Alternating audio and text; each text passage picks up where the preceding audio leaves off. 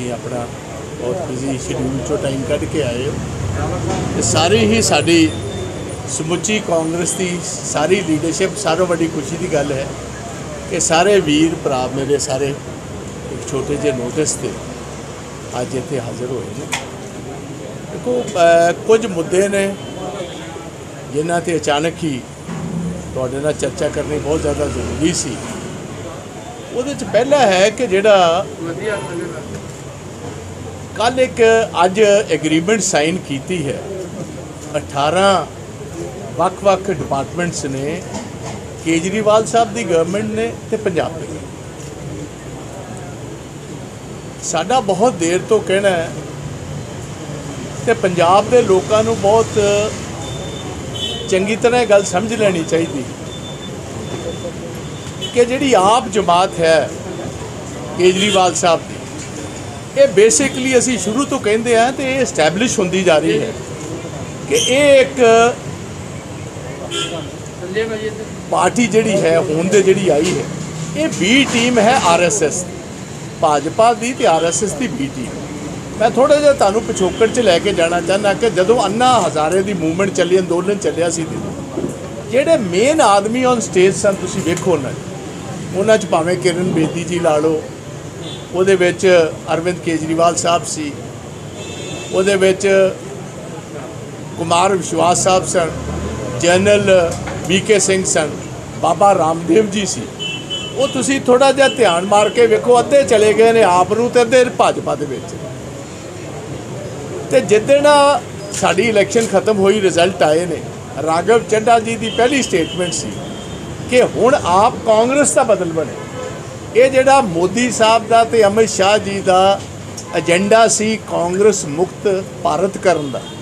ਇਹ ਬਕਾਇਦਾ ਤੌਰ ਇਹ ਪਾਰਟੀ ਜਿਹੜੀ ਹੈ, ਉਹਨਾਂ ਦੇ ਅਸ਼ੀਰਵਾਦ ਨਾਲ, ਉਹਨਾਂ ਦੇ ਇਸ਼ਾਰੇ ਨਾਲ ਇਹ ਚੱਲ ਰਹੀ ਹੈ ਤੇ ਪਹਿਲਾ ਕੰਮ ਜਿਹੜਾ ਪੰਜਾਬ ਤੋਂ ਇਹ ਕੰਮ ਸ਼ੁਰੂ ਹੋ ਗਿਆ। ਸੋ ਪੰਜਾਬ ਦੇ ਲੋਕਾਂ ਨੂੰ ਸੁਚੇਤ ਬਹੁਤ ਰਹਿਣ ਦੀ ਲੋੜ ਹੈ।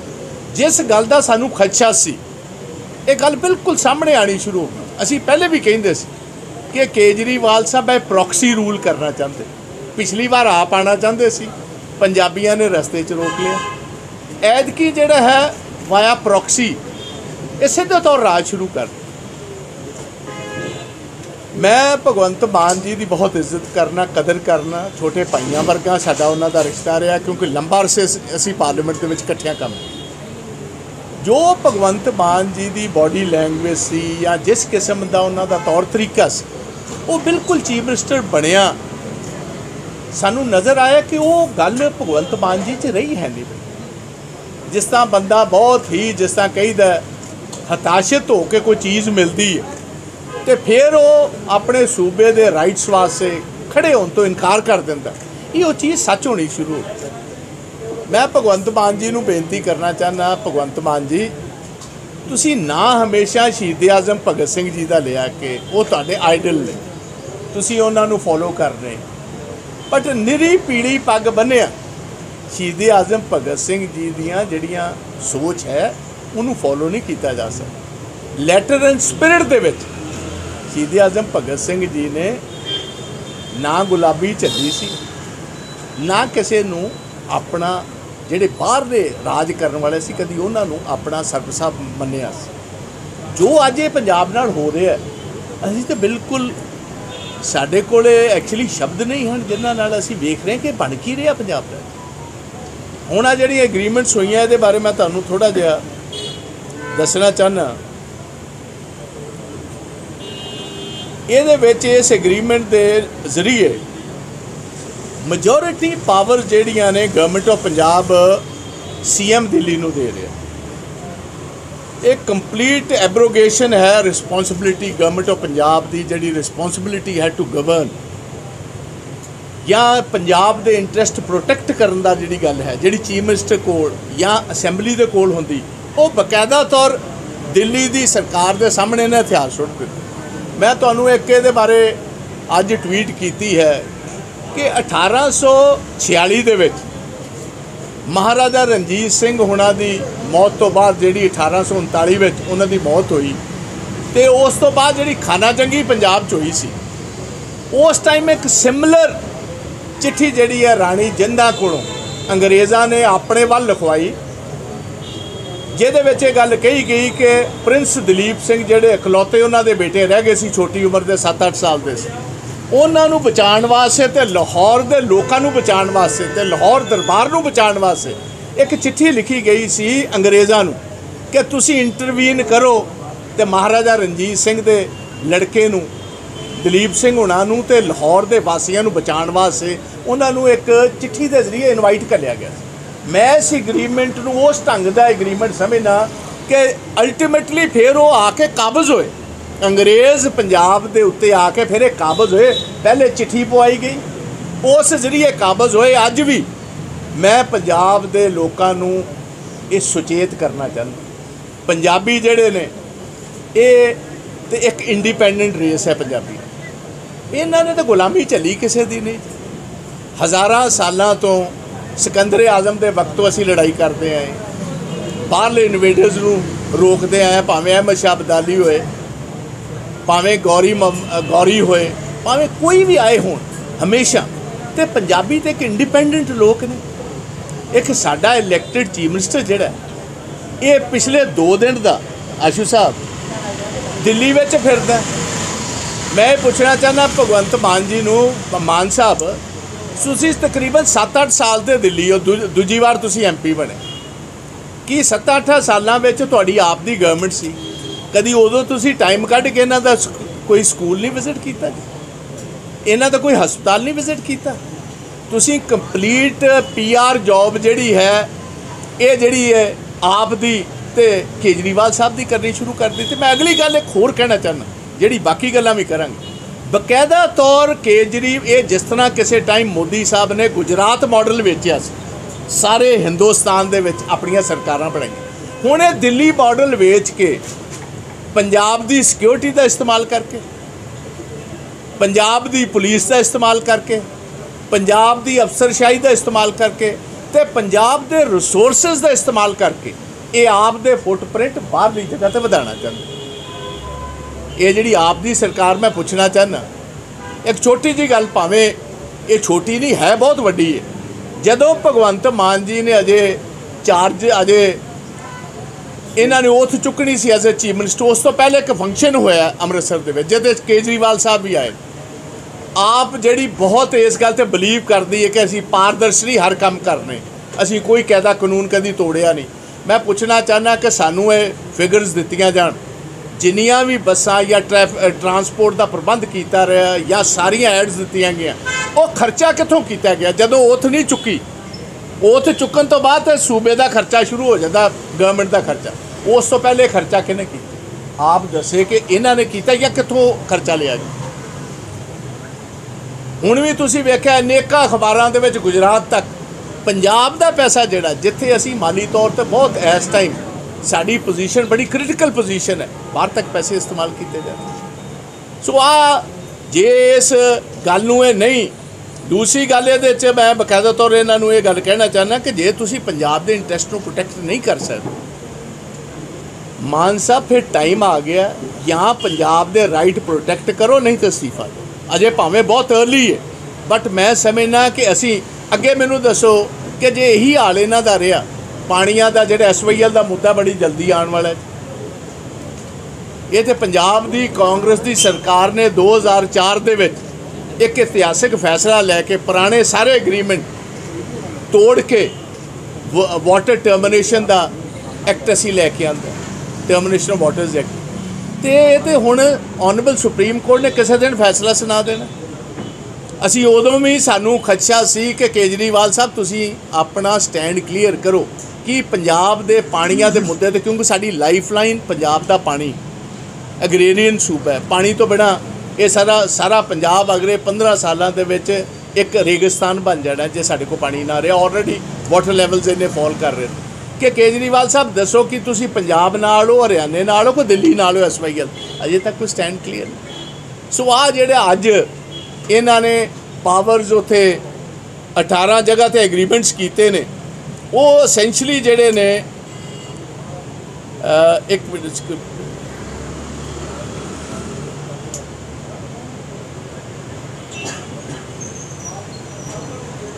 ਇਹ ਸਾਰੀ ਰਿਸਪੌਂਸਿਬਿਲਿਟੀ ਇੱਕ ਤੇ ਅਸੀਂ ਇਸ ਗੱਲ ਬਾਰੇ ਕਲੀਅਰ ਕਰਨਾ ਚਾਹੁੰਦੇ ਕਿ ਅੱਜ ਜਿਹੜਾ ਇਹ ਕਾਂਗਰਸ ਪਾਰਟੀ ਜਿਹੜੀ ਹੈ, ਇਹ ਬਕਾਇਦਾ ਤੌਰ ਪੰਜਾਬੀਆਂ ਨੂੰ ਇਸ ਗੱਲ ਦਾ ਫੇਰ ਦਿੰਦੀ ਹੈ, ਵਿਸ਼ਵਾਸ ਦਿੰਦੀ ਕਿ ਇਸ ਦੇ ਅਗੇਂਸਟ ਜੇ ਇਹ ਚੀਜ਼ ਜਿਹੜੀ ਪੰਜਾਬ ਦੇ ਇੰਟਰਸਟ ਦੇ ਖਿਲਾਫ ਇਹ ਕਰਕੇ ਆਏ, ਇਹਦੇ ਵਾਸਤੇ ਸਾਨੂੰ ਕੋਈ ਵੀ ਲੜਾਈ ਲੜਾਈ ਲੜਨੀ ਪਏਗੀ ਅਸੀਂ ਕਰਾਂਗੇ। ਸਾਨੂੰ ਭਾਵੇਂ ਇਹਨੂੰ ਕਚਹਿਰੀਆਂ 'ਚ ਵੀ ਚੈਲੰਜ ਕਰਨਾ ਪਏ।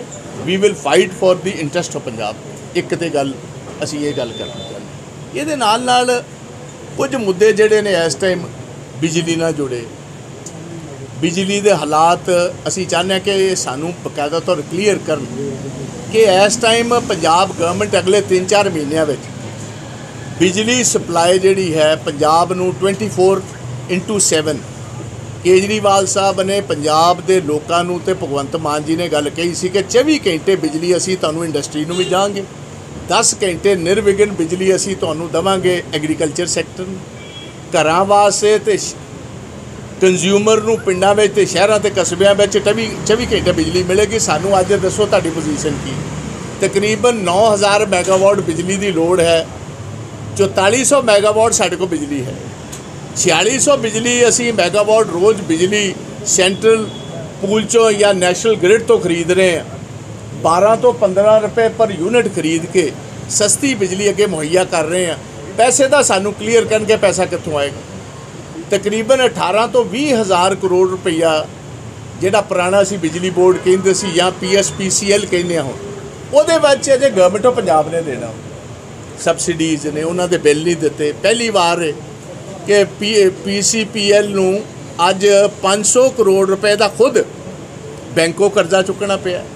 ਹਿਸਟਰੀ 'ਚ ਪਹਿਲੀ ਵਾਰ ਹੋਇਆ ਕਿ ਅਪ੍ਰੈਲ ਦੇ ਮਹੀਨੇ ਵਿੱਚ ਬਿਜਲੀ ਬੋਰਡ ਨੇ 200 ਕਰੋੜ ਦੀ ਬਿਜਲੀ ਖਰੀਦੀ। ਇਸ ਤੋਂ ਪਹਿਲੇ ਕਦੀ ਨਹੀਂ ਸੀ ਬਿਜਲੀ ਖਰੀਦਣ ਦੀ ਲੋੜ ਪਈ। ਤੁਹਾਡੇ ਅੱਧੇ ਥਰਮਲ ਪਲਾਂਟ ਬੰਦ ਹੋ ਚੁੱਕੇ ਨੇ। ਬਾਕੀਆਂ ਕੋ ਸਾਰੇ 2 ਜਾਂ 3 ਦਿਨ ਦੀ ਬਿ- ਇਹ ਜਿਹੜਾ ਕੋ- ਕੋਲਾ ਪਿਆ ਜੀ। ਜਿੱਥੇ ਘੱਟ ਤੋਂ ਘੱਟ ਇੱਕ ਮਹੀਨੇ ਦਾ ਸਟਾਕ ਚਾਹੀਦਾ। ਇਹ ਕਲੈਰਿਟੀ ਸਾਨੂੰ ਬਕਾਇਦਾ ਤੌਰ ਦੇਣ। ਨਾਲ ਇਹਦੀ ਕਲੈਰਿਟੀ ਦੇਣ, ਆਪ ਦੀ ਜਿਹੜੀ ਮੌਜੂਦਾ ਸਰਕਾਰ ਹੈ ਭਗਵੰਤ ਮਾਨ ਜੀ ਦੀ, ਕਿ ਭਗਵੰਤ ਮਾਨ ਜੀ ਜਿਹੜੀ ਗੱਲ ਕੇਜਰੀਵਾਲ ਸਾਹਿਬ ਕਹਿੰਦੇ ਸੀਗੇ ਕਿ 20000 ਕਰੋੜ ਤੇ ਅਸੀਂ ਰੇਟ ਚੋਂ ਕੱਢ ਲੈਣਾ ਹੈ।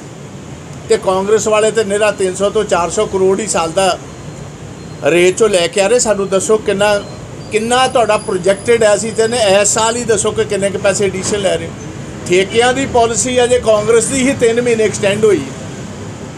ਇਹਦੇ ਚੋਂ ਵੀ ਕਹਿੰਦੇ 30000 ਕਰੋੜ ਅਸੀਂ ਠੇਕਿਆਂ ਚੋਂ ਕੱਢਣਾ। ਸਾਨੂੰ ਕੋਈ ਦੱਸੋ ਤੇ ਸਹੀ ਰੂਪਰੇਖਾ, ਕੋਈ ਰੋਡ ਮੈਪ ਸਾਨੂੰ ਪੰਜਾਬ ਦਾ ਵਿਖਾਓ। 30000 ਕਰੋੜ ਕਹਿੰਦੇ ਰਿਸ਼ਵਤ ਦਾ ਬਾਹਰ ਕੱਢਣਾ ਸਾਨੂੰ ਦੱਸੋ, ਮਸ਼ੀਨ ਕਿੱਥੋਂ ਮੰਗਵਾਓਗੇ? ਜਿਹੜੀ ਇੱਕ ਪਾਸੇ ਰਿਸ਼ਵਤ ਦੇ ਪੈਸੇ ਕੱਢੇਗੀ ਤੇ ਤੁਹਾਡੇ ਵਾਲੇ ਥੈਲੇ ਥੈਲੇ ਵਿੱਚ ਜਾਂ ਤੁਹਾਡੇ ਵਾਲੀ ਕਿਸੇ ਮਸ਼ੀਨ ਵਿੱਚ ਪਾਏਗੀ। ਸੋ ਇਹ ਸਾਰੀਆਂ ਚੀਜ਼ਾਂ ਜਿਹੜੀਆਂ ਨੇ, ਅਸੀਂ ਇਹਨਾਂ ਤੋਂ ਕਲੈਰਿਟੀ ਇਹਨਾਂ ਤੋਂ ਮੰਗਦੇ ਆ ਤੇ ਆ ਜਿਹੜੀ ਐਗਰੀਮੈਂਟਸ ਕੀਤੀਆਂ ਇਹਦੀ ਅਸੀਂ ਮੰਗ ਕਰਾਂਗੇ ਕਿ ਪੰਜਾਬ ਦੀ ਵਿਧਾਨ ਸਭਾ ਦਾ ਸਪੈਸ਼ਲ ਸੈਸ਼ਨ ਜਲਦੀ ਤੋਂ ਜਲਦੀ ਭਗਵੰਤ ਮਾਨ ਬੁਲਾਉਣ ਸਾਰੀ ਅਸੈਂਬਲੀ ਨੂੰ ਬਕਾਇਦਾ ਤੌਰ 'ਤੇ ਦੱਸਣ ਕਿ ਰੋਡ ਮੈਪ ਕੀ ਤਿਆਰ ਕੀਤਾ, ਕਿਹਨੂੰ ਪੁੱਛ ਕੇ ਕੀਤਾ ਗਿਆ, ਇਹਦੇ ਵਿੱਚ ਇਹ ਜਿਹੜੀ ਜੁਆਇੰਟ ਕਮੇਟੀਆਂ ਬਣਨੀਆਂ ਨੇ, ਇਹ ਕਮੇਟੀ ਕਿਹਦੇ ਕੋਲ ਪਾਵਰ ਹੋਏਗੀ ਨਾਮਜ਼ਦ ਕਰਨ ਦੀ, ਉਹਨਾਂ ਮੈਂਬਰਸ ਨੂੰ ਐਂਡ ਇਹ ਵੀ ਭਗਵੰਤ ਸਿੰਘ ਮਾਨ ਜੀ ਨੂੰ ਮੈਂ ਕਹਿਣਾ ਚਾਹੁੰਦਾ, ਭਗਵੰਤ ਜੀ, ਤੁਸੀਂ ਇੱਕ ਫੁੱਲ ਫਲੈਸ਼ ਸਟੇਟ ਦੇ ਤੁਸੀਂ ਮੁੱਖ ਮੰਤਰੀ। ਤੁਸੀਂ ਲੀਡਰਸ਼ਿਪ ਭਾਵੇਂ ਤੁਹਾਡੇ ਨੈਸ਼ਨਲ ਕਨਵੀਨਰ ਹੀ ਨੇ ਬਟ ਅਸਲ ਦੇ ਵਿੱਚ ਤੇ ਇੱਕ ਗਲੋਰੀਫਾਈਡ ਮੇਅਰ ਨੇ ਅਰਵਿੰਦ ਕੇਜਰੀਵਾਲ ਜੀ ਇੱਕ ਕਾਰਪੋਰੇਸ਼ਨ ਦੇ Delhi. It is not even a complete state ਤੁਸੀਂ ਉਹਦੇ ਸਾਹਮਣੇ ਗੋ- ਗੋਡੇ ਟੇਕ ਦਿੱਤੇ ਦਿੱਲੀ ਦੀ ਸਰਕਾਰ ਦੇ ਸਾਹਮਣੇ। ਪੰਜਾਬੀਆਂ ਨੇ ਤੇ ਦਿੱਲੀ ਦੀ ਦ- ਦਰਬਾਰ ਨੂੰ, ਦਿੱਲੀ ਦਰਬਾਰ ਨੂੰ ਕਦੀ ਸਬਜੂਗੇਸ਼ਨ ਉਹਨਾਂ ਦੀ ਬਣੀ ਹੈ ਨਹੀਂ। ਤੁਸੀਂ ਇੱਕ ਗਲੋਰੀਫਾਈਡ ਮੇਅਰ ਜਿਹੜਾ ਦਿੱਲੀ ਦਾ, ਉਹਦੀ ਲੀਡਰਸ਼ਿਪ ਮੰਨ ਲਈ ਹੈ ਇੱਕ ਇੰਡੀਪੈਂਡੈਂਟ ਸਟੇਟ ਦਾ ਜਿਹੜਾ ਚੀਫ ਮਿਨਿਸਟਰ ਹੈ, ਉਹ ਦੋ ਦੋ ਦਿਨ ਉੱਥੇ ਲਾ ਰਿਹਾ। ਸਾਡੇ ਵੇਖੋ, ਉਹਨਾਂ ਨਾਲੋਂ ਅੱਜ ਦੇ ਦਿਨ ਵੀ ਸਾਡੀ ਜਿਹੜੀ ਇੰਡੀਪੈਂਡੈਂਟ ਸਟੱਡੀ ਹੋਈ ਸੀ ਗਵਰਨਮੈਂਟ ਆਫ ਇੰਡੀਆ ਦੀ, ਮੋਦੀ ਦੀ ਗਵਰਨਮੈਂਟ ਨੇ ਐਜੂਕੇਸ਼ਨ ਸਿਸਟਮ ਨੰਬਰ 1 ਤੇ ਪੰਜਾਬ ਦਾ ਮੰਨਿਆ ਜੀ। ਤੁਸੀਂ ਉੱਥੇ ਦੇ ਸਵਿਮਿੰਗ ਪੂਲ ਵਿਖਾਈ ਫਿਰਦੇ ਹੋ। ਇੱਕ ਦੇ ਸਕੂਲ 'ਚ ਪੂਲ ਬਣਾ ਲਿਆ, ਬਾਕੀ ਤੇ ਨਾ ਮਹੱਲਾ ਕਲੀਨਿਕ ਕੋਈ ਚੱਲਦੀ, ਨਾ ਉੱਥੇ ਕੋਈ ਦਵਾਈ ਅਵੇਲੇਬਲ ਹੈ। ਐਂਡ ਤੁਹਾਡੀ ਸਾਰਿਆਂ ਦੀ ਜਾਣਕਾਰੀ ਵਾਸਤੇ ਮੈਂ ਦੱਸਣਾ ਚਾਹੁੰਦਾ ਨੈਸ਼ਨਲ ਕੈਪੀਟਲ ਹੋਣ ਦੇ ਕਾਰਨ ਜਿੰਨੇ ਫਲਾਈਓਵਰ ਨੇ, ਜਿੰਨੀਆਂ ਸੜਕਾਂ ਨੇ, ਜਿੰਨਾ ਇਨਫਰਾਸਟ੍ਰਕਚਰ ਨੇ, ਉਹ ਤਾਂ ਗਵਰਨਮੈਂਟ ਆਫ ਇੰਡੀਆ ਬਣਾ ਰਹੀ ਹੈ। ਜਿੰਨੀਆਂ ਯੂਨੀਵਰਸਿਟੀਆਂ ਨੇ ਮੈਜੋਰਿਟੀ ਦੇ are all under government of India ਜਿੰਨੇ ਹਸਪੀਟਲਸ ਨੇ ਟੌਪ ਦੇ ਸਾਰੇ ਦੇ ਸਾਰੇ ਜਿੰਨੇ ਨੇ ਐਜੂਕੇਸ਼ਨਲ ਅਦਾਰੇ ਹੈਲਥ ਦੇ ਅਦਾਰੇ, ਉਹ ਸਾਰੇ ਦੇ ਸਾਰੇ ਗਵਰਨਮੈਂਟ ਆਫ ਇੰਡੀਆ ਉਹਨਾਂ ਨੂੰ ਕਰਦੀ ਕਿਉਂਕਿ ਨੈਸ਼ਨਲ ਕੈਪੀਟਲ ਹੋਣ ਦੇ ਕਾਰਨ। ਤੋ ਇਸ ਗੱਲ ਕਰ ਤੁਸੀਂ ਦਿੱਲੀ ਨੂੰ ਸੈੱਲ ਕਰਕੇ ਆਪ ਦੇ ਫੁੱਟਪ੍ਰਿੰਟ ਦੇਸ਼ 'ਚ ਵਧਾਉਣ ਦੀ ਕੋਸ਼ਿਸ਼ ਨਾ ਕਰੋ ਪੀਆਰ ਜੌਬ ਨਾ ਕਰੋ, ਤੁਸੀਂ ਪੰਜਾਬ ਵੱਲ ਧਿਆਨ ਦਿਓ, ਨਾ ਇੱਥੇ ਲਾਅ ਐਂਡ ਆਰਡਰ ਨਾ ਕਿਸੇ ਦੀ ਜ਼ਿੰਦਗੀ ਮਹਿਫੂਜ਼ ਹੈ, ਨਾ ਕਿਸੇ ਦਾ ਮਾਲ ਮਹਿਫੂਜ਼ ਹੈ ਪੰਜਾਬ ਕੱਲ ਤੁਸੀਂ ਧੂਰੀ ਦੇ ਵਿੱਚ ਪਾਂਡੇ ਸਾਹਿਬ, ਕੱਲ ਚੀਫ ਮਿਨਿਸਟਰ ਸਾਹਿਬ ਦੇ ਸ਼ਹਿਰ 'ਚ ਦੇ- ਦਿਨ ਦਿਹਾੜੇ, ਇੱਕ ਡਾਕਾ ਪਿਆ ਜੀ, ਸਾਰਾ ਸ਼ਹਿਰ ਕੱਲ ਬੰਦ ਰਿਹਾ ਜੀ। ਤੇ ਤੁਸੀਂ ਧੂਰੀ ਦਾ ਤਾਂ ਧਿਆਨ ਨਹੀਂ ਕਰੀ ਜਾਂਦੇ, ਤੇ ਤੁਸੀਂ ਉੱਥੇ ਜਾ ਕੇ ਦਿੱਲੀ ਵਿੱਚ ਬੈਠੇ ਹੋ ਜੀ। ਉਹਨਾਂ ਦੇ ਗੀਤ ਗਾਈ ਜਾਂਦੇ ਹੋ ਉੱਥੇ।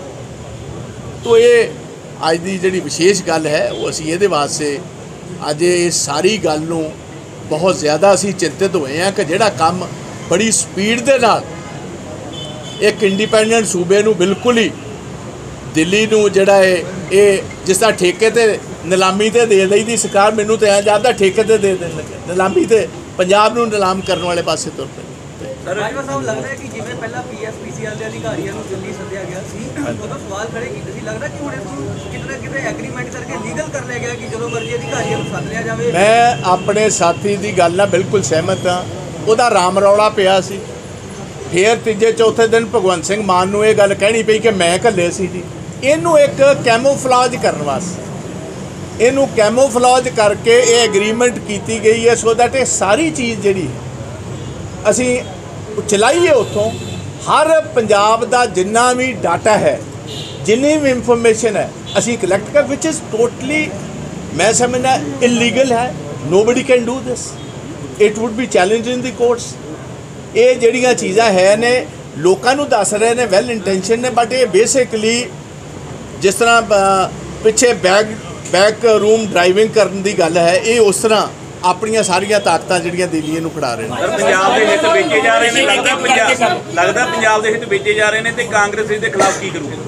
ਕਾਂਗਰਸ ਤੇ ਇਹਦੇ ਖਿਲਾਫ ਆ ਸਾਰਿਆਂ ਨੂੰ ਪਹਿਲੇ ਤੇ ਪ੍ਰੈਸ ਕਾਨਫਰੰਸ ਕਰਕੇ ਫਿਰ ਅਸੀਂ ਕਚਹਿਰੀਆਂ ਤੱਕ ਜਾਵਾਂਗੇ। ਵੀ ਵਿਲ ਨੌਕ ਦੇ ਡੋਰਸ ਉਸ ਤੋਂ ਬਾਅਦ ਵਿਧਾਨ ਸਭਾ ਜਾਂ ਸਟਰੀਟਸ ਦੇ ਵੀ ਜਿੱਥੇ ਵੇਖੋ ਪੰਜਾਬ ਦੀ ਜਿੱਥੋਂ ਤੱਕ ਇੱਜ਼ਤ ਮਾਨ ਤੇ ਸਨਮਾਨ ਦੀ ਲੜਾਈ। ਉਹ ਹਰ ਪਿੰਡ 'ਚ ਹਰ ਸ਼ਹਿਰ ਦੇ ਵਿੱਚ ਹਰ ਕਸਬੇ ਵਿੱਚ ਹਰ ਗਲੀ ਵਿੱਚ ਹਰ ਕੂਚੇ ਵਿੱਚ ਲੜੀ ਜਾਏਗੀ। This is just the start ਇੱਥੇ ਸ਼ੁਰੂਆਤ ਹੀ ਹੋਈ ਹੈ ਬਿਜਲੀ ਨੂੰ ਲੈ ਕੇ ਵਾਈਟ ਪੇਪਰ ਦੀ ਮੰਗ ਕੀਤੀ ਹੈ ਹਾਂਜੀ। ਬਿਜਲੀ ਦੇ ਮੁੱਦੇ ਨੂੰ ਲੈ ਕੇ white ਤੁਹਾਨੂੰ ਨਹੀਂ ਲੱਗਦਾ ਫੈਸਲਾ ਵਾ ਭਗਵੰਤ ਮਾਨ ਵੱਲੋਂ ਉਹ ਸਹਿਮਤੀ 'ਚ ਲਿਆ ਗਿਆ ਜਾਂ ਮਜਬੂਰੀ 'ਚ ਲਿਆ ਗਿਆ ਵਾ? ਦੇਖੋ ਇਹ ਤਾਂ ਮਜਬੂਰੀ ਲੱਗਦਾ ਜੀ ਦੇਖੋ ਜਿਹੜਾ ਚੀਫ ਮਿਨਿਸਟਰ ਬਣਾਇਆ ਭਗਵੰਤ ਮਾਨ ਜੀ ਨੂੰ ਚੰਗੀ ਤਰ੍ਹਾਂ ਘਸਾ ਕੇ ਬਣਾਇਆ ਘਸਾ ਕੇ ਸ਼ਰਤਾਂ ਬਣਾਈਆਂ ਕਿ ਜੇ ਤੈਨੂੰ ਬਣਾਵਾਂਗੇ ਤਾਂ ਤੈਨੂੰ ਸਾਡੇ ਮੁਤਾਬਕ ਚੱਲਣਾ ਪਏਗਾ ਉਹ ਸਾਰਾ ਕੁਝ ਬਾਹਰ ਨਿਕਲਣਾ ਜਿਹੜਾ ਪੰਜਾਬ ਦਾ ਖਦਸ਼ਾ ਸੀ ਜਾਂ ਆਪੋਜੀਸ਼ਨ ਪਾਰਟੀਆਂ ਨੂੰ ਖਦਸ਼ਾ ਸੀ ਉਹ ਚੀਜ਼ ਤੇ ਬਿਲਕੁਲ ਸਾਫ਼ ਹੋਣੀ ਸ਼ੁਰੂ ਹੋ ਗਈ ਹੈ। ਭਗਵੰਤ ਸਿੰਘ ਮਾਨ ਜੀ ਕਿਸੇ ਗੱਲ ਦਾ ਜਵਾਬ ਦੇਣ ਤੋਂ ਵੇਖੋ ਜੋ ਤੌਰ ਤਰੀਕਾ ਮੋਦੀ ਜੀ ਦੀ ਸਰਕਾਰ ਦਾ ਕਿਸੇ ਗੱਲ ਦੀ ਪ੍ਰੈਸ ਕਾਨਫਰੰਸ ਨਹੀਂ ਕਰਨੀ ਵਨ ਵੇ ਉਹਨਾਂ ਦਾ ਚੱਲਦਾ ਫਰਮਾਨ। ਇਹਨਾਂ ਦਾ ਹੀ ਵਨ ਵੇ ਚੱਲਦਾ ਇਹਨਾਂ ਨੇ ਵੀ ਇੱਕ ਸਟੂਡੀਓ ਘਰ ਬਣਾ ਲਿਆ ਕਿਸੇ ਦੀ ਗੱਲ ਦਾ ਜਵਾਬ ਕੋਈ ਨਹੀਂ ਦਿੰਦੇ ਕੋਈ ਉਹ ਸਵਾਲ ਲੈਣ ਨੂੰ ਤਿਆਰ ਨਹੀਂ। ਜੋ ਤੌਰ ਤਰੀਕੇ ਨੇ ਹਾਂਜੀ? ਉਹਨਾਂ ਦਾ ਤਰਕ ਹੈ ਕਿ ਨੌਲੇਜ ਸ਼ੇਅਰਿੰਗ ਕੰਟਰੈਕਟਸ ਨੇ, ਇਹ ਵੀ ਨੌਲੇਜ ਹੈ ਦਿੱਲੀ ਦੀ ਸਾਰੀ ਇੱਧਰ ਪੰਜਾਬ ਦੇ ਅਫਸਰਾਂ ਦੀ। ਜਿਹੜੀ ਜਦੋਂ ਰਾਣੀ ਜਿੰਦਾ ਦੇ ਕੋਲ ਇਹ ਚਿੱਠੀ ਲਿਖਵਾਈ ਗਈ ਸੀ, ਉਹ ਵੀ ਇਸੇ ਕੰਮ ਨੂੰ ਹੀ ਲਿਖਵਾਈ ਗਈ ਸੀ ਕਿ ਅਸੀਂ ਪੀਸ ਵਾਸਤੇ ਪੰਜਾਬ ਚ ਆਏ ਆ ਲਾਹੌਰ ਦੇ ਲੋਕਾਂ ਵਾਸਤੇ ਤੇ ਮਹਾਰਾਜਾ ਦਲੀਪ ਸਿੰਘ ਦੀ ਜ਼ਿੰਦਗੀ ਨੂੰ ਬਚਾਉਣ ਵਾਸਤੇ ਆਏ ਤਾਂ ਬਾਅਦ ਚ ਕਾਬਲ ਹੋਏ ਸੀ। ਇਹ ਨੌਲੇਜ ਹੀ ਤਾਂ ਸਾਰਿਆਂ ਨੂੰ ਵੱਡੀ ਚੀਜ਼ ਹੈ ਅੱਜ। ਪਹਿਲੇ ਤਾਂ ਨੌਲੇਜ ਸ਼ੇਅਰਿੰਗ ਦੇ ਵਿੱਚੋਂ ਹੀ ਤਾਂ ਕੰਮ ਖਿੱਚਣਗੇ ਜੀ। ਕੰਮ ਖਿੱਚ ਕੇ ਆਪਣੇ ਹੱਥ 'ਚ ਕੰਟਰੋਲ ਕਰਨਗੇ। ਇਹ ਤੇ ਇੱਕ ਓਪਨ ਇੱਕ ਇੰਡੀਪੈਂਡੈਂਟ ਸੂਬਾ ਜਿਹੜਾ ਉਹਨੂੰ ਬਿਲਕੁਲ ਜਿਸ ਤਰ੍ਹਾਂ ਕਹੀਦਾ ਉਹਦੇ ਤੇ ਕਾਬਜ਼ ਹੋਣ ਦੀ ਉਹਨੂੰ ਗੁਲਾਮ ਕਰਨ ਦੀ ਇਹ ਇਹ ਜਿਹੜੀ ਸਾਜ਼ਿਸ਼ ਹੈ ਬਿਲਕੁਲ ਸਾਹਮਣੇ ਆ ਚੁੱਕੀ ਹੈ। ਬਾਜਵਾ ਸਾਹਿਬ ਆਮ ਆਦਮੀ ਪਾਰਟੀ ਦੀ ਗੱਲ ਹੋਈ ਜਿਹੜੇ ਅਹ, ਸੁਨੀਲ ਜਾਖੜ ਜੀ ਹੈਗੇ ਆ ਅੱਜ ਉਹਨੂੰ ਸ਼ਾ- ਅਨੁਸ਼ਾਸਨ ਕਮੇਟੀ ਜਿਹੜੀ ਹੈਗੀ ਆ, ਉਹਨਾਂ ਨੇ 2 ਸਾਲ ਲਈ ਸਸਪੈਂਡ ਕਰਨ ਦੀ ਸਿਫਾਰਿਸ਼ ਕਰ ਮੇਰੇ ਛੋਟੇ ਵੀਰ ਅੱਜ ਇਹ ਸਾਰਿਆਂ ਨੂੰ ਵੱਡਾ ਮੁੱਦਾ ਇੰਪੋਰਟੈਂਟ ਮੁੱਦਾ let us focus only on those I am not willing to talk on issues which are not relevant to Punjab ਜਿਹੜਾ ਇਸ਼ੂਜ਼ ਦਾ ਰੈਲੇਵੈਂਸ ਹੈ ਉਹ ਇਹਨਾਂ ਦਾ। ਆਪਾਂ ਉਹਨਾਂ ਮੁੱਦਿਆਂ ਤੇ ਗੱਲ ਕਰੀਏ ਇਹਨੂੰ ਖੱਬੇ ਸੱਜੇ ਨਾ ਕਰੀਏ ਨਾ ਮੈਂ ਉਹਦਾ ਕੋਈ ਜਵਾਬ ਦੇ ਹਿਮਾਚਲ ਜਾ ਕੇ ਕਿਹਾ ਜਾਂਦਾ ਜੀ ਕਿ ਪੰਜਾਬ ਦੇ ਵਿੱਚ ਭ੍ਰਸ਼ਟਾਚਾਰ ਖਤਮ ਕਰਦਾ ਉੱਥੇ ਦੇ ਲੋਕਾਂ ਨੂੰ। ਤੁਸੀਂ ਸਮਝਦੇ ਹੋ ਜੀ? ਜੇ ਭ੍ਰਿਸ਼ਟਾਚਾਰ ਮੁੱਕੀ ਗਿਆ ਹੁੰਦਾ ਤੇ 11 ਮਾਲਵੇ ਦੇ ਵਿੱਚ ਯੂਨਿਟਸ ਤੇ ਇਹਨਾਂ ਦੇ ਆਪ ਦੇ ਐਮਐਲਏ ਨੂੰ ਕਬਜ਼ਾ ਕਰਨ ਦੀ ਲੋੜ ਕੀ ਪੈਂਦੀ ਜੀ? ਮਾਲਵੇ ਦੀਆਂ ਯੂਨੀਅਨਸ ਇਹੋ ਜੀਆਂ ਨੇ ਜਿੱਥੇ ਹਰ ਯੂਨੀਅਨ ਕੋ 800 ਤੋਂ 1000 ਟਰੱਕ ਦੀ ਕਰੋੜਾਂ ਰੁਪਏ ਇਨਵੋਲਡ ਨੇ। ਤੇ ਅਜੇ ਤਾਂ ਮਹੀਨਾ ਇੱਕ ਦਾ ਕੱਢੋ ਤੇ ਸਹੀ ਤੁਸੀਂ ਵੇਖੋ ਇਹ ਤੇ ਬੰਦਾ ਕੀ ਹੈ। ਸਰ ਲਾਅ ਐਂਡ ਆਰਡਰ ਨੂੰ ਲੈ ਕੇ ਸਥਿਤੀ ਜ਼ਰੂਰ ਖਰਾਬ ਹੋਈ ਹੋਈ ਹੈ ਲਗਾਤਾਰ ਕਤਲ ਹੋ ਰਹੇ ਨੇ ਪਰ ਕਾਫੀ ਵੀ ਬਾਹਰ ਜਾ ਰਹੇ ਨੇ ਪਰ ਇੱਥੇ ਲਾਅ ਐਂਡ ਆਰਡਰ ਤੇ ਇਹ ਸਾਰਿਆਂ ਨੂੰ ਅਫਸੋਸਨਾਕ ਗੱਲ ਹੈ ਕਿ ਭਗਵੰਤ ਮਾਨ ਜੀ ਦੇ ਆਪਣੇ ਆਪਣੇ ਸ਼ਹਿਰ 'ਚ ਜਿੱਥੋਂ ਇਲੈਕਟ ਹੋ ਕੇ ਆਏ ਉਹ ਸਾਰਾ ਸ਼ਹਿਰ ਕੱਲ ਬੰਦ ਰਿਹਾ ਉੱਥੇ ਤੇ ਭਗਵੰਤ ਮਾਨ ਜੀ ਗਏ ਨਹੀਂ ਕੇਜਰੀਵਾਲ ਸਾਹਿਬ ਦੇ ਘਰ ਜਾ ਕੇ ਪਿਛਲੇ ਦੋਹਾਂ ਦਿਨਾਂ ਤੇ ਬੈਠੇ ਨੇ। ਜਦੋਂ ਉਡਨ ਖਟੋਲਾ ਉਹਨਾਂ ਦੇ ਕੋਲ ਹੈ ਗੁਜਰਾਤ ਫਲਾਈ ਕਰਕੇ ਜਾ ਸਕਦੇ ਨੇ।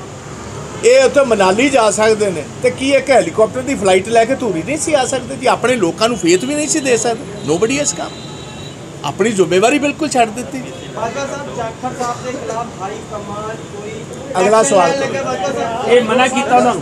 Sir Navjot Singh Sidhu high command ਤੋਂ ਅਲੱਗ ਤੁਰਦੇ ਨਜ਼ਰ ਆ ਰਹੇ ਮੈਨੂੰ ਛੋਟੇ ਵੀਰ ਮੇਰੀ ਇੱਕ ਚੰਗੀ ਤਰ੍ਹਾਂ ਗੱਲ ਸੁਣ ਲਓ।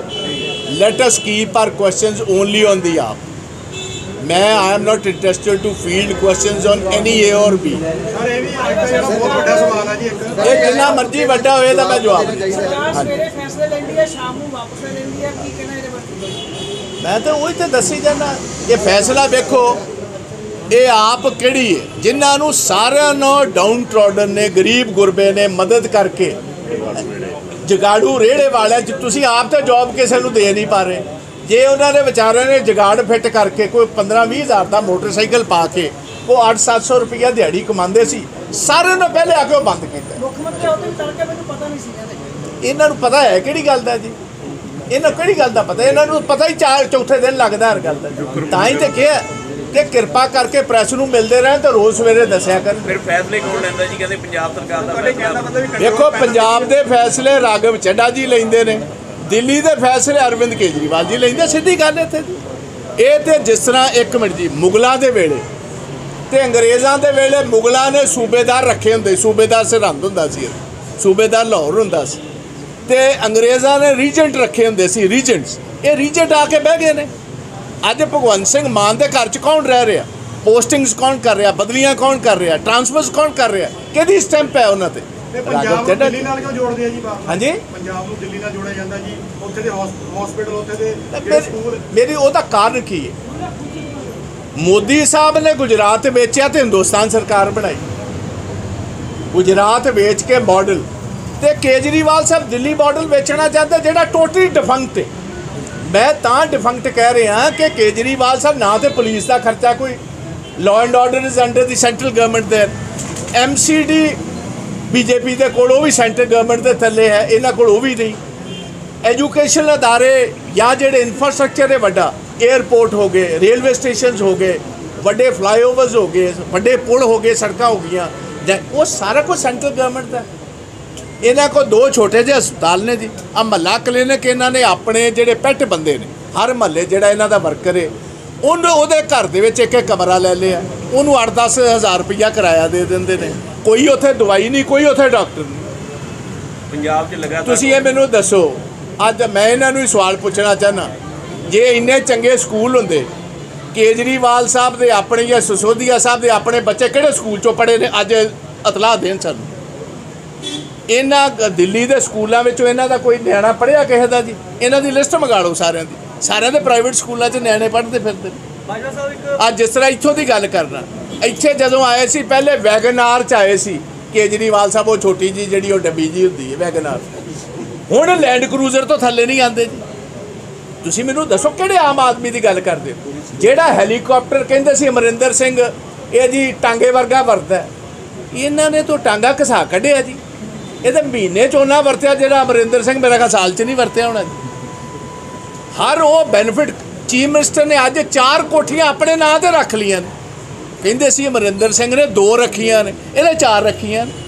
ਚੀਫ ਮਿਨਿਸਟਰ ਦੇ ਨਾਲ ਦੇ ਚਾਰ ਘਰ, ਚਾਰੋਂ ਦੇ ਚਾਰੋਂ ਭਗਵੰਤ ਸਿੰਘ ਮਾਨ ਦੇ ਕੋਠੇ ਦੇ ਵਿੱਚ ਨੇ ਚੀਫ ਮਿਨਿਸਟਰ ਕੋਠੇ। ਕੋਈ ਇੱਕ ਚੀਜ਼ ਦੱਸੋ ਜਿਹੜੀ ਆਮ ਆਦਮੀ ਦੀ ਕੀਤੀ ਹੋ ਆਮ ਆਦਮੀਆਂ ਦੇ ਬੈਨੀਫਿਟ ਚ ਕੀਤੀ ਇਹ ਖਾਸ ਆਦਮੀ ਨਹੀਂ ਆਮ ਆਦਮੀ ਹੈ ਨਹੀਂ, ਇਹ ਵਿਖਾਣਗੇ, ਕੁਝ ਕਰਨਗੇ ਕੁਝ ਹੋਰ। ਸਰ ਕਾਂਗਰਸ ਦੇ ਪ੍ਰਧਾਨ ਰਾਜਾ ਵੜਿੰਗ ਕਹਿੰਦੇ ਆ ਕਿ ਹਜੇ ਥੋੜਾ ਸਮਾਂ ਹੋਇਆ ਕਿ ਉਹਨਾਂ ਨੂੰ ਬਹੁਤ ਕੁਝ ਕਰਨਗੇ ਥੋੜਾ ਸਮਾਂ ਦਿੱਤਾ ਜਾਵੇ ਤੁਹਾਡੇ ਕਾਂਗਰਸ ਦੇ ਪ੍ਰਧਾਨ ਨੂੰ 110% ਸਹੀ ਹੈ। ਅਜੇ ਹੋਇਆ ਕੀ ਹੈ ਤੇ ਹਫਤਾ ਹੋਇਆ ਹਫਤਾ ਦੇ ਦੇ ਬੰਦੇ ਨੂੰ ਸਾਹ ਸੂ ਲੈਂਦੇ ਹੀ ਟੱਪ ਜਾਂਦਾ ਹੈ। ਆਏ ਨੇ ਹਰ ਜਗ੍ਹਾ ਲੁਧਿਆਣੇ Jalandhar Amritsar he is working hard and sorry team ਇਕੱਠੇ ਅਸੀਂ ਚੱਲਾਂਗੇ। ਇਸ ਤੋਂ ਵੱਡੀ ਖੁਸ਼ੀ ਵਾਲੀ ਗੱਲ ਕੀ ਅੱਜ ਵੇਖੋ ਸਮੁੱਚੀ ਕਾਂਗਰਸ ਇੱਕ ਛੱਤ ਦੇ ਥੱਲੇ ਆ ਗਈ। ਸਰ ਸਿੱਧੂ ਸਾਹਿਬ ਕੇ ਲੱਗ ਜਾਣੇ? ਫਿਰ ਤੁਸੀਂ ਉੱਥੇ ਹੀ ਆ ਗਏ। ਬਾਜਵਾ ਸਾਹਿਬ ਪ੍ਰੋਕਿਉਰਮੈਂਟ ਪ੍ਰੋਕਿਉਰਮੈਂਟ ਨੂੰ ਲੈ ਕੇ ਦਿੱਕਤ ਆ ਰਹੀ ਹੈ ਕਿ ਭੰਡਾਰ ਲੱਗੇ ਪਏ ਨੇ। ਹਾਂਜੀ ਇੱਕ ਮਿੰਟ ਆਪਾਂ ਛੋਟੇ ਵੀਰ ਆਹ ਮੁੱਦੇ ਇੰਪੋਰਟੈਂਟ ਨੇ ਪਲੀਜ਼ ਕਿਸਾਨਾਂ ਦਾ ਚਾਰ ਐਤ ਕੀ ਕਣਕ ਦਾ ਘੱਟ ਨਿਕਲਿਆ ਹੈ ਪ੍ਰੋਕਿਉਰਮੈਂਟ ਨੂੰ ਲੈ ਕੇ ਦਿੱਕਤ ਹੈ ਲਿਫਟਿੰਗ ਨੂੰ ਲੈ ਕੇ ਦਿੱਕਤ ਇੱਕ ਆ ਮਿੰਟ ਜੀ, ਹੈ। ਹਾਂ। ਲੱਗਦਾ ਹੈ ਕਿ ਸਰਕਾਰ ਨੂੰ ਇਸ ਤੇ ਕਿਸਾਨਾਂ ਨੂੰ ਮੁਆਵਜ਼ਾ ਦੇਣਾ ਚਾਹੀਦਾ ਹੈ। ਦੇਖੋ 110% ਭਾਰਤੀ ਕਿਸਾਨ ਯੂਨੀਅਨ ਨੇ ਡਿਮਾਂਡ ਕੀਤੀ 500 ਰੁਪਈਆ ਪਰ ਕੁਇੰਟਲ।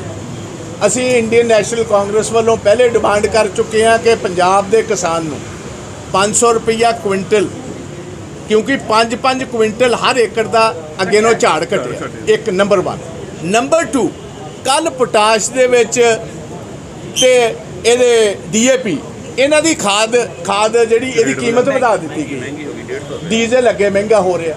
ਮੈਂ ਭਗਵੰਤ ਮਾਨ ਜੀ ਨੂੰ ਬੇਨਤੀ ਕੀਤੀ ਸੀ ਸਵਿਮਿੰਗ ਪੂਲ ਦੇ ਵਿੱਚ ਉੱਥੇ ਛਾਲਾ ਨਾ ਮਾਰੋ ਉੱਥੇ ਫਰਟੀਲਾਈਜ਼ਰ ਮੰਤਰੀ ਜਿਹੜਾ ਉਹਨੂੰ ਜਾ ਕੇ ਮਿਲੋ। ਉਹਨੂੰ ਜਾ ਕੇ ਮਿਲੋ ਉਹਨੂੰ ਕਹੋ ਕਿ ਆਹ ਜ਼ੁਲਮ ਸਾਡੇ ਨਾਲ ਨਾ ਕਰ। ਪੰਜਾਬ ਦਾ ਕਿਸਾਨ ਜਿਹੜਾ ਅੰਨਦਾਤਾ ਹਿੰਦੁਸਤਾਨ ਦਾ, ਉਹਦੇ ਤੇ ਇੰਨਾ ਕਹਿਰ ਨਾ ਚੱਲੋ। ਤੁਸੀਂ ਸੈਂਟਰ ਵਾਲੇ ਤੋਂ ਤੁਸੀਂ ਰਲ ਕੇ ਨਾ ਮਾਰੋ। ਡੀਜ਼ਲ ਰੋਜ਼ ਵਧਾ ਰਹੇ ਹੋ, ਪੈਟਰੋਲ ਰੋਜ਼ ਵਧਾ ਰਹੇ ਹੋ, ਇਨਪੁਟ ਸਾਰੀਆਂ ਵੱਧ ਰਹੀਆਂ, ਦੇ ਉਹਨੂੰ ਤੁਸੀਂ ਦੇ। ਅੱਛਾ, ਫਿਰ ਮੈਂ ਅਗਲਾ ਸਵਾਲ ਕਿ ਜੀ, ਅੱਜ ਭਗਵੰਤ ਮਾਨ ਜੀ ਕਿਉਂਕਿ ਜੇ ਦਿੱਲੀ। 1 ਕਰੋੜ ਰੁਪਈਆ ਇਹਨਾਂ ਨੇ ਕਿਹਾ ਸੀ ਜੀ ਕਿ ਅਸੀਂ ਹਰ ਕਿਸਾਨ ਨੂੰ ਜਿਹੜਾ ਖੁਦਕਸ਼ੀ ਕਰੇਗਾ, ਉਹਨੂੰ ਮੁਆਵਜ਼ਾ ਦਾਂਗੇ। ਜੇ ਬਾਈ ਚਾਂਸ ਕਿਸੇ ਦੀ ਅਨਫੋਰਚੂਨਟਲੀ ਡੈਥ ਹੋ ਜਾਂਦੀ। ਤੇ ਪਹਿਲੀ ਗੱਲ ਤੇ ਤੁਹਾਨੂੰ ਪਤਾ ਕੇਜਰੀਵਾਲ ਸਾਹਿਬ ਦਾ ਇਹ ਕਹਿਣਾ, ਤੁਸੀਂ ਵੀਡੀਓ ਸਾਰਿਆਂ ਨੇ ਵੇਖਿਆ ਹੋਣਾ ਮੇਰੇ ਵੀਰੋ, ਕਿ ਮੇਰੀ ਸਰਕਾਰ ਆਉਣ ਤੋਂ ਪਹਿਲੀ ਅਪ੍ਰੈਲ ਤੋਂ ਬਾਅਦ ਕੋਈ ਖੁਦਕਸ਼ੀ ਨਹੀਂ ਹੋਈ। ਤੇ 14 14 ਕਲੀਆਂ ਖੁਦਕਸ਼ੀਆਂ ਤੇ ਪਿਛਲੇ ਅਪ੍ਰੈਲ ਦੇ ਤੀਜੇ ਹਫ਼ਤੇ ਤੱਕ ਹੋ ਚੁੱਕੀਆਂ। ਸੱਤ ਤੇ ਕਲੀਆਂ ਮਾਨਸੇ ਜ਼ਿਲ੍ਹੇ ਚ ਹੋਈਆਂ। ਨੇ ਕਿ 1 ਰੁਪਈਆ, ਪਹਿਲੇ ਮੈਂ ਭਗਵੰਤ ਮਾਨ ਜੀ ਨੂੰ ਪੁੱਛਣਾ, ਭਗਵੰਤ ਮਾਨ ਜੀ, ਸਾਰਿਆਂ ਨੂੰ ਵੱਧ ਮਾਲਵੇ ਨੇ ਤੁਹਾਨੂੰ ਵੋਟਾਂ ਪਾਈਆਂ। ਐਂਡ ਵਿਸ਼ੇਸ਼ ਤੌਰ ਤੁਹਾਡਾ ਬਠਿੰਡਾ ਮਾਨਸਾ ਸੰਗਰੂਰ ਬੈਲ ਤੁਸੀਂ ਕਿਸੇ ਇੱਕ ਆਦਮੀ ਦੇ ਵੀ ਘਰ ਗਏ ਹੋ? ਕੋਈ 1 ਰੁਪਈਆ ਮੁਆਵਜ਼ਾ ਵੇਖੋ, ਅਹ ਦਿੱਲੀ ਵਿੱਚ ਕੇਜਰੀਵਾਲ ਸਾਹਿਬ ਕਹਿੰਦੇ ਨੇ, ਸਾਰਾ ਔਨ ਰਿਕਾਰਡ ਹੈ ਕਿ ਪਹਿਲੀ ਅਪ੍ਰੈਲ ਤੋਂ ਬਾਅਦ ਕੋਈ ਖੁਦਕਸ਼ੀ ਨਹੀਂ ਹੋਏਗੀ। ਜੇ ਹੋਏਗੀ, ਮੈਂ ਰਿਸਪੌਂਸਿਬਲ ਹੋਵਾਂਗੇ। ਅਰਵਿੰਦ ਕੇਜਰੀਵਾਲ ਸਾਹਿਬ ਦਾ ਕਹਿਣਾ ਕਿ ਅਰਵਿੰਦ ਕੇਜਰੀਵਾਲ ਜੋ ਕਹਿੰਦਾ, ਉਹ ਕਰਕੇ ਵਿਖਾਉਂਦਾ। ਅਸੀਂ ਕਹਿੰਦੇ ਕਰਕੇ ਵਿਖਾ। ਪਹਿਲੀ ਗੱਲ ਤਾਂ ਖੁਦਕਸ਼ੀਆਂ ਹੋਈਆਂ ਨੇ। ਦੂਜੀ ਗੱਲ ਇਸ ਸਿਚੁਏਸ਼ਨ ਦੇ ਵਿੱਚ ਘੱਟ ਤੋਂ ਘੱਟ ਤੁਸੀਂ ਸਾਨਭੂਤੀ ਵਾਸਤੇ ਆਪਣੇ ਮਿਨਿਸਟਰ ਘੱਲੋ, ਚੀਫ ਮਿਨਿਸਟਰ ਖੁਦ ਜਾਏ, ਉੱਥੇ ਕੋਈ ਦੇ ਕੇ ਆਏ ਦੇ ਇਜ਼ ਗਿਵਨ ਨਥਿੰਗ ਬਿਜਲੀ ਦਾ ਬਹੁਤ ਵੱਡਾ ਸੰਕਟ ਹੈ, ਮੈਂ ਲੁਧਿਆਣੇ 'ਚ ਤਾਂ ਕਹਿ ਰਿਹਾ, ਸਾਰਿਆਂ ਨਾਲੋਂ ਵੱਡਾ ਇੰਡਸਟਰੀਅਲ ਹੱਬ ਪੰਜਾਬ ਦਾ ਲੁਧਿਆਣਾ। ਇੱਥੇ ਇੰਡਸਟਰੀਲਿਸਟ ਨੂੰ ਪ੍ਰਪੇਅਰ ਰਹਿਣਾ ਪਏਗਾ। ਵੱਡੇ ਕੱਟ ਆਲਰੇਡੀ ਸ਼ੁਰੂ ਹੋ ਗਏ ਨੇ ਸ਼ਹਿਰਾਂ 'ਚ। ਐਗਰੀਕਲਚਰ ਸੈਕਟਰ ਨਿਰੀ 2 ਘੰਟੇ ਬਿਜਲੀ ਆ ਰਹੀ ਹੈ। ਸਾਰਾ ਅਬੋਰ ਤੇ ਫਾਜ਼ਿਲਕਾ 'ਚ ਜਿੰਨੇ ਬਾਗ ਨੇ ਕੀਨੂਆਂ ਦੇ ਤੇ ਮਾਲਟਿਆਂ ਦੇ, ਸਾਰਿਆਂ ਦਾ ਉਹ ਜਿਹੜਾ ਫੁੱਲ ਲੱਗਦਾ ਸੀ, ਸੁੱਕ ਚੁੱਕੇ ਸਾਡੇ ਏਰੀਆ ਦੇ ਵਿੱਚ ਗੁਰਦਾਸਪੁਰ ਤੇ ਹੁਸ਼ਿਆਰਪੁਰ ਦੀ ਬੈਲਟ, ਕਮਾਦ ਦੀ ਬੈਲਟ, ਗੰਨੇ ਦੀ ਬੈਲਟ, ਸਾਰਾ ਗੰਨਾ ਸੁੱਕਣਾ ਸ਼ੁਰੂ ਹੋ ਗਿਆ। ਅੱਛਾ, ਫਿਰ ਹੈਰਾਨੀ ਦੀ ਗੱਲ ਵੇਖੋ, ਅਫਸੋਸ ਦੀ ਗੱਲ। ਜਿਹੜੇ ਫਾਈਨੈਂਸ ਮਿਨਿਸਟਰ ਸਾਹਿਬ ਨੇ, ਚੀਮਾ ਸਾਹਿਬ, ਉਹਨਾਂ ਨੇ ਪਰਸੋਂ ਬਿਆਨ ਦਿੱਤਾ ਕਿਉਂਕਿ ਕੋਆਪਰੇਟਿਵ ਦੇ ਮੰਤਰੀ ਵੀ ਨੇ, ਕਿ ਅਸੀਂ ਐਤਕੀ ਝਾੜ ਜਿਹੜਾ ਗੰਨੇ ਦਾ, ਇਹ 100 ਕੁਇੰਟਲ ਤੱਕ ਲੈ ਕੇ ਜਾਣਾ ਤੇ ਮੈਂ ਉਹਨਾਂ ਨੂੰ ਹੱਥ ਜੋੜ ਕੇ ਬੇਨਤੀ ਕੀਤੀ ਸੀ, ਚੀਮਾ ਜੀ, ਕੋਈ ਸਾਨੂੰ ਹੀ ਪੁੱਛ ਲੈਣਾ ਸੀ। ਉਹ 350 ਤੋਂ 400 ਕੁਇੰਟਲ ਤੇ ਐਵਰੇਜ ਝਾੜ ਹੈ ਸਾਡਾ। ਤੁਸੀਂ 100 ਕੁਇੰਟਲ ਦੱਸੀ ਜਾਂਦੇ ਹੋ। ਫਿਰ ਮੈਨੂੰ ਕਿਸੇ ਸਿਆਣੇ ਬੰਦੇ ਨੇ ਕਿਹਾ, ਬਾਜਾ ਸਾਹਿਬ, ਤੁਹਾਨੂੰ ਭੁਲੇਖਾ ਲੱਗਿਆ, ਉਹ ਇਮਾਨਦਾਰ ਬੰਦੇ ਸੱਚੀ ਗੱਲ ਕਹਿੰਦੇ ਨੇ। ਕਿਉਂਕਿ ਬਿਜਲੀ ਨਹੀਂ ਮਿਲਣੀ, ਗੰਨਾ ਸੁੱਕ ਕੇ ਰਹਿ 100 ਕੁਇੰਟਲ ਦਾ ਜਾਣਾ। ਆ ਉਹਨਾਂ ਦਾ ਕਹਿੰਦਾ ਮਾਨ ਸਾਹਿਬ ਨੇ ਵੀ ਕਿਹਾ ਕਿ ਪੈਡੀ ਦਾ ਹੁਣ ਜਿਵੇਂ ਸੀਜ਼ਨ ਆ ਰਿਹਾ, ਝੋਨੇ ਤੋਂ ਸ਼ਿਫਟ ਕਰਕੇ ਦਾਲਾਂ, ਬਾਜਰਾ ਸੂਰਜਮੁਖੀ ਲਗਾਈ ਉੱਤੇ ਐਮਐਸਪੀ ਬਾਰੇ ਵਿਚਾਰ ਚਰਚਾ ਕਰੇ ਆਉਣ ਵਾਲੇ ਦੋ ਤਿੰਨ ਦਿਨਾਂ ਦੇ ਵਿੱਚ ਫੈਸਲਾ ਆਏਗਾ ਉੱਤੇ ਨਹੀਂ, ਜਿਹੜਾ ਕਮਾਦ ਦਾ 800 ਕਰੋੜ ਰੁਪਈਆ ਸਾਡਾ ਬਕਾਇਆ ਰਹਿੰਦਾ ਇਹ ਜਿਹੜੀ ਅਸੀਂ ਡਿਵਰਸਿਫਿਕੇਸ਼ਨ ਆਫ ਕ੍ਰੌਪ ਹੈ, ਝੋਨੇ ਤੇ ਕਣਕ ਤੋਂ ਇਲਾਵਾ ਉਹ ਡਿਵਰਸਿਫਿਕੇਸ਼ਨ ਚ ਨਹੀਂ, ਉਹਨਾਂ ਨੂੰ ਤੇ ਅਸੀਂ ਇਸ ਸਾਲ ਦਾ 800 ਕਰੋੜ ਰੁਪਈਆ, ਜਿਹਦੇ 500 ਕਰੋੜ ਪ੍ਰਾਈਵੇਟ ਮਿਲਣ ਦਾ 300 ਕਰੋੜ ਸਹਿਕਾਰੀ ਮਿਲਣ ਦਾ। ਉਹ ਮੈਂ ਦੋ ਚਿੱਠੀਆਂ ਲਿਖੀਆਂ ਨੇ ਅਜੇ ਤੱਕ ਕੋਈ ਕਾਂ, ਇਹਨਾਂ ਦੇ ਕੰਨ ਤੇ ਜੂ ਨਹੀਂ ਸਰਕੀ, ਕੋਈ ਵਰ ਜਵਾਬ ਨਹੀਂ ਦਿੱਤਾ। ਕਿਸਾਨ ਵਿਚਾਰੇ ਇਹਨਾਂ ਦੇ ਕਹਿ ਤੇ ਦਾਲ ਬੀਜ ਲੈਣ, ਕੇਜਰੀਵਾਲ ਸਾਹਿਬ ਮੰਨਣ ਨਾ ਚੁੱਕਣ ਨੂੰ, ਤੇ ਦੱਸੋ ਜਵਾਬ ਕੌਣ ਦੇਗਾ ਕਿ ਕਿਉਂ ਹੁਣ ਮਾਨ ਸਾਹਿਬ ਦੀ ਗੱਲ ਤੇ ਤਾਂ ਕਿਸੇ ਨੂੰ ਵਿਸ਼ਵਾਸ ਹੀ ਨਹੀਂ ਰਹਿ ਗਿਆ। ਇਹਨਾਂ ਨੇ ਤਾਂ ਸਾਰਾ ਕੁਝ ਠੇਕੇ ਤੇ ਦੇ ਦਿੱਤਾ ਕੇਜਰੀਵਾਲ ਸਾਹਿਬ ਨੂੰ। ਇਹ ਤੇ ਦਿੱਲੀੋਂ ਪੁੱਛਣਾ ਪੈਣਾ। ਤੇ ਕੇਜਰੀਵਾਲ ਸਾਹਿਬ ਦੇ ਤੁਹਾਡੇ ਸਾਹਮਣੇ ਬਿਆਨ ਆ ਤੁਹਾਨੂੰ ਆ ਦੱਸਿਆ ਚੱਕੀ ਨਹੀਂ ਜਾ ਰਹੀ ਜੀ ਗਲਟ ਹੋਇਆ ਕਾਂਗਰਸ ਦਾ ਸੌਰੀ ਜਿਹੜੇ Aam Aadmi party sir MLA ਹੈ ਉਹ ਲਗਾਤਾਰ ਕਦੇ ਹਸਪਤਾਲ 'ਚ ਛਾਪੇਮਾਰੀ ਕਰਦੇ ਨੇ ਕਦੇ ਥਾਣਿਆਂ 'ਚ ਜਾਂਦੇ ਨੇ ਅਫਸਰਾਂ ਤੇ ਦਬਾਅ ਬਣਾਇਆ ਜਾ ਰਿਹਾ ਜਦੋਂ ਕਿ ਪਹਿਲੀ ਅਫਸਰ ਜਿਹੜੀ ਹੈ ਬਹੁਤ ਘੱਟ ਗਿਣਤੀ 'ਚ ਬਹੁਤ ਜ਼ਿਆਦਾ ਕੰਮ ਕਰ ਰਹੇ ਹੈਗੇ ਆਲਰੇਡੀ ਉਹ ਕਹਿ ਰਹੇ ਕਿ ਪਹਿਲਾਂ ਇਨਫਰਾਸਟ੍ਰਕਚਰ ਨੂੰ ਠੀਕ ਕਰ ਲਓ ਉਸ ਤੋਂ ਬਾਅਦ ਦਬਾਅ ਪਾਇਆ ਜਾਵੇ। ਵੇਖੋ ਬਦਕਿਸਮਤੀ ਇਹਨਾਂ ਦੇ ਐਮਐਲਏ ਦਾ ਹਾਲ ਵੇਖੋ। ਕਿਸੇ ਕਿਸੇ ਅਫਸਰ ਨੂੰ ਫੜ ਲਿਆ ਸ਼ਰਾਬ ਪੀਤੇ ਨੂੰ ਉਹਦਾ ਮਲਾਜ਼ਾ ਕਰਾਉਣ ਦੇ ਬਜਾਏ ਕਹਿੰਦੇ ਇਹਦਾ ਪੋਸਟਮਾਰਟਮ ਕਰਾਓ। ਇਹਨਾਂ ਤੋਂ ਤੇ ਪ੍ਰਮਾਤਮਾ ਹੀ ਮਿਹਰ ਰੱਖੇ ਇਹਨਾਂ ਨੂੰ। ਇਹ ਜਿਹੜੇ ਨਵੇਂ ਆ ਗਏ ਨੇ ਪਤਾ ਨਹੀਂ ਇਹਨਾਂ ਨੇ ਕੀ ਕੀ ਅਜੇ ਚੰਨ ਚਾੜਨੇ ਇੱਥੇ। ਕਹੇ ਤੇ ਹਾਂ ਸੋ ਆ। ਬਾਜਵਾ ਸਾਹਿਬ ਮੈਂਬਰ ਕੁਮਾਰ ਵਿਸ਼ਵਾਸ ਦੇ ਘਰੇ ਪੰਜਾਬ ਪੁਲਿਸ ਹੈ ਭੇਜੇ ਗਏ ਕਿੰਨੇ ਵੇਖ 15 ਦਿਨ ਭੇਜਿਆ ਗਿਆ। ਜ਼ਿਲ੍ਹਾ ਦੇ ਵਿੱਚ ਬਾਜਵਾ ਸਾਹਿਬ 15 ਦਿਨ ਹੋ ਗਏ ਰਿਸ਼ਵਤ ਚੱਲਣ ਲੱਗ ਗਈ। ਉਵੇਂ ਜਿਵੇਂ ਸਵਾਇਆ ਕਰਤੀ ਡੇਡੀ ਇਹਨਾਂ ਨੂੰ ਕਿਤੇ ਉਧਰ ਟੂਰ ਕਰਵਾਓ ਉਧਰ। ਮੈਂ ਮੈਂ ਇਹਨਾਂ ਲੈ ਕੇ ਜਾਓ ਨਾ ਇਹਨਾਂ ਤੇ ਟੂਰ ਕਰਾਓ ਪਹਿਲਾਂ ਵੀ ਲੋਕਾਂ ਤੋਂ ਲੈ ਰਹੇ ਤੁਹਾਡੇ ਕੋ ਵੀ ਲੈਣਾ ਸ਼ੁਰੂ ਕਰ ਦੇਣਗੇ ਜੇ ਹੁਣ ਕੈਮਰਾ ਹੋਰ ਕੋਈ ਦੱਸੋ ਸਵਾਲ? ਸਰ ਸਰ ਲੁਧਿਆਣੇ ਦੇ ਵਿੱਚ 11 ਵਜੇ ਸਾਰਾ ਕੁਝ ਬੰਦ ਕਰ ਦਿੱਤਾ ਗਿਆ ਹੈ ਤੇ ਪੁਲਿਸ ਦਾ ਕਹਿਣਾ ਕਿ ਸਾਡੇ ਕੋਲ ਫੋਰਸ ਘੱਟ ਹੈ। ਤੇ ਉਧਰੋਂ ਜਿਹੜੇ ਐਮਐਲਏ ਉਹ ਕਹਿ ਰਹੇ ਕਿ ਅਸੀਂ ਵਧਾਵਾਂਗੇ ਟਾਈਮ ਵਧਾਵਾਂਗੇ। ਉਧਰੋਂ ਪੁਲਿਸ ਤੇ ਐਮਐਲਏ ਦਾ ਟਕਰਾਵ ਹੈ। ਉਹ ਕਹਿੰਦੇ ਨਹੀਂ ਵਧਾਵਾਂਗੇ ਐਮਐਲਏ ਕਹਿੰਦੇ ਕਿ ਟਾਈਮ ਹੈ ਵਧਾਇਆ ਜਾਊਗਾ। ਉਹ ਕਹਿੰਦੇ ਸਿਕਿਉਰਿਟੀ ਪਰਸਨਲ ਰੱਖ ਲਓ। ਸਿਕਿਉਰਿਟੀ ਪਰਸਨਲ ਲੱਗ ਲਓ ਕਹਿੰਦੇ। ਦੇਖੋ ਇੱਕ ਛੋਟੇ ਵੀਰ ਇੱਕ ਪੱਕੀ ਗੱਲ ਸਮਝ ਲਓ। ਇਹ ਗੱਲ ਮੈਂ ਪਹਿਲੇ ਵੀ ਚੁੱਕੀ ਹੈ ਵਿਧਾਨ ਸਭਾ 'ਚ ਜਿੰਨੀ ਪੁਲਿਸ ਫੋਰਸ ਰਿਕੁਆਇਰਡ ਹੈ ਪੁਲਿਸ ਸਟੇਸ਼ਨ ਉਹਦੇ ਚੋਂ ਅੱਧੀ ਪੁਲਿਸ ਫੋਰਸ ਹੈ। ਭਾਵੇਂ ਪੰਜਾਬ ਦੇ ਕਿਸੇ ਥਾਣੇ ਚਲੇ ਜਾਓ। ਭਾਵੇਂ ਤੁਸੀਂ ਲੁਧਿਆਣੇ ਚਲੇ ਹੋ ਜਿੱਥੇ 100 ਬੰਦਾ ਪੁਲਿਸ ਸਟੇਸ਼ਨ ਚਾਹੀਦਾ 50 ਨੇ 50 ਦੇ ਵਿੱਚੋਂ 10 ਬੰਦੇ ਤੇ ਜਿਹੜੇ ਨੇ ਵੀਆਈਪੀ ਡਿਊਟੀ ਤੇ ਹੁੰਦੇ ਨੇ 10 ਬੰਦੇ ਜਿਹੜੇ ਨੇ ਉਹ ਮੁਲਜ਼ਮਾਂ ਨੂੰ ਲੈ ਕੇ ਕਚਹਿਰੀ ਲੈ ਕੇ ਜਾਂਦੇ ਨੇ, ਬੰਦੇ ਤੇ ਲਾਅ ਐਂਡ ਆਰਡਰ ਸਾਂਭਣ ਵਾਸਤੇ ਹੈ ਹੀ ਸਾਰੇ 5-7 10 ਨੇ। ਤੇ ਇਹਨਾਂ ਨੇ ਕਿੱਥੋਂ 12 1 ਵਜੇ 2 ਵਜੇ ਤੱਕ ਮੈਂ ਕਮਿਸ਼ਨਰ ਦਾ ਸੁਣਿਆ ਸੀ ਕਿ ਉਹ ਸਾਡੇ ਕੋਲ ਫੋਰਸਸ ਹੀ ਹੈ ਨਹੀਂ, ਅਸੀਂ ਕਿਸ ਤਰ੍ਹਾਂ ਇੰਸ਼ੋਰ ਕਰਾਂਗੇ। ਇਹ ਕਰਨਾ ਜ਼ਰੂਰ ਚਾਹੀਦਾ। ਵੇਖੋ ਮੈਂ ਇਸ ਗੱਲ 'ਚ ਹੱਕ 'ਚ ਹਾਂ ਕਿ ਕਾਰੋਬਾਰ ਵਾਸਤੇ ਜਿਹਦੇ ਜਿੰਨਾ ਚਿਰ ਕਾਰੋਬਾਰੀ ਚਾਹਣ ਹੋਟਲਾਂ ਰੈਸਟੋਰੈਂਟਸ ਵਾਲੇ। ਬਟ ਉਹਦੇ ਵਾਸਤੇ ਪੁਲਿਸ ਜਲਦੀ ਤੋਂ ਜਲਦੀ ਪੁਲਿਸ ਫੋਰਸ ਮੁਹੱਈਆ ਕਰਾਏ। ਅਸੀਂ ਤੇ ਪੂਰੇ ਦੇ ਸਪੋਰਟਰ ਆ 1 ਵਜੇ ਤੱਕ 2 ਵਜੇ ਤੱਕ ਜਿੰਨਾ ਚਿਰ ਵੇਖੋ ਜੇ ਪੈਸੇ ਆਣਗੇ ਕਾਰੋਬਾਰੀਆਂ ਕੋ ਤਾਂ ਹੀ ਗਵਰਨਮੈਂਟ ਨੂੰ ਉਹਦੇ ਵਿੱਚੋਂ ਟੈਕਸਸ ਜਾ ਪਾਣਗੇ। 15 ਦਿਨਾਂ ਦੇ ਵਿੱਚ ਸਰਕਾਰ ਦੇ ਵੱਲੋਂ 5500 ਕਰੋੜ ਦਾ ਕਰਜ਼ਾ ਲਿਆ ਗਿਆ। ਬਿਲਕੁਲ ਆ ਬਹੁਤ ਅੱਛਾ ਸਵਾਲ ਸਾਡੇ ਨੌਜਵਾਨ ਸਾਥੀ ਨੇ ਪੁੱਛਿਆ, ਇਹਨਾਂ ਨੇ ਇਹ ਗੱਲ ਕਹੀ ਜੀ ਕਿ 75 ਸਾਲਾਂ ਵਿੱਚ ਜਿਹੜਾ 3 ਲੱਖ ਕਰੋੜ ਦਾ ਕਰਜ਼ਾ ਲਿਆ, ਭਗਵੰਤ ਮਾਨ ਜੀ ਨੇ ਕਿਹਾ, ਮੈਂ ਇਹਦੀ ਇਨਕੁਆਇਰੀ ਕਰਾਂਗਾ। ਅਸੀਂ ਕਿਹਾ, ਵੈਲਕਮ ਕਰ ਰਹੇ ਹਾਂ, ਜਰੂਰ ਕਰਾਇਓ। ਬਟ ਪਹਿਲੇ ਇਹਦਾ ਜਵਾਬ ਤੇ ਦੇ ਦਿਓ ਕਿ 5500 ਤੇ ਤੁਸੀਂ ਪਹਿਲੇ ਮਹੀਨੇ ਚੁੱਕ ਲਿਆ। ਜੇ ਇਹਦੀ ਐਵਰੇਜ ਕੱਢੀਏ ਤੇ ਸਾਲ 'ਚ ਬਣਿਆ 65000 ਕਰੋੜ। ਤੇ 50 ਸਾਲਾਂ 'ਚ ਕਿੰਨਾ ਬਣਿਆ ਜੀ? ਸਵਾ 3 ਲੱਖ ਕਰੋੜ। ਜਿਹੜਾ 75 ਸਾਲਾਂ 'ਚ ਪਹੁੰਚੇ 3 ਲੱਖ ਕਰੋੜ ਤੇ ਇਹ 50 ਸਾਲਾਂ 'ਚ ਚੰਨ ਚਾੜ ਕੇ ਜਾਣਗੇ ਸਵਾ 3 ਲੱਖ। ਇਹਨਾਂ ਕੋ ਕੀ ਆਸ ਉਮੀਦ ਕਰਦੇ ਹੋ? ਠੀਕ ਹੈ ਸਰ। Thank you